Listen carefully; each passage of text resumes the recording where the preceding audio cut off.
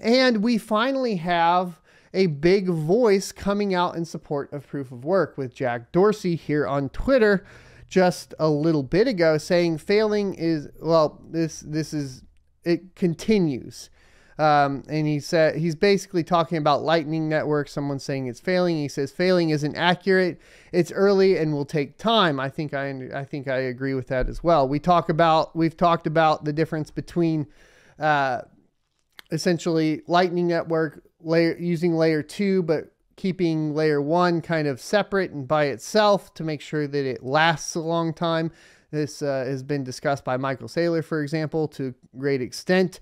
Uh, you may want to check out, I think, his latest podcast with Lex Fridman to get a full perspective on layer layer one, layer two, layer three, and even further on down the line as we start kind of moving into other thing, other realms as well.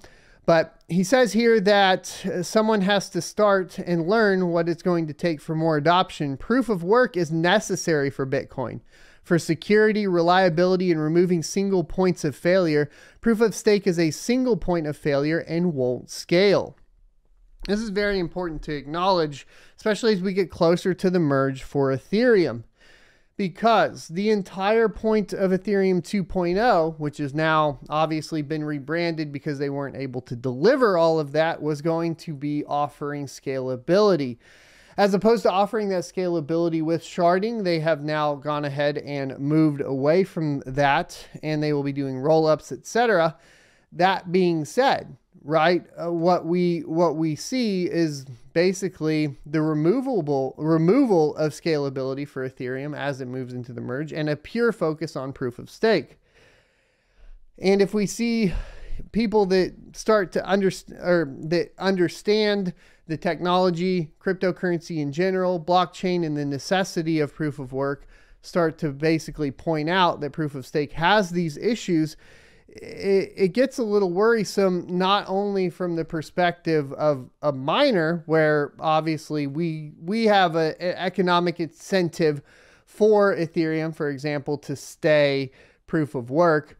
But this goes further. This goes into the realm of basically proof of stake affecting everybody on the network. We harp on it a lot. Check out my video on, of course, the problem with Ethereum. There's a part two as well.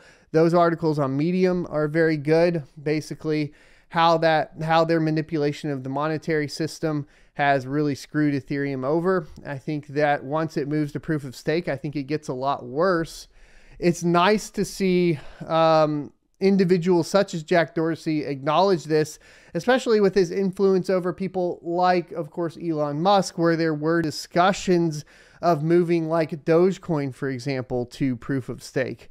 And uh, it's funny because Dogecoin being a meme coin, it is the only meme coin that is, you know, kind of proof of work at this time. So Dogecoin is my meme coin because it's it's the proof of work meme coin. I do wish it was a different algorithm and not ASICs, but it is uh, it is what it is.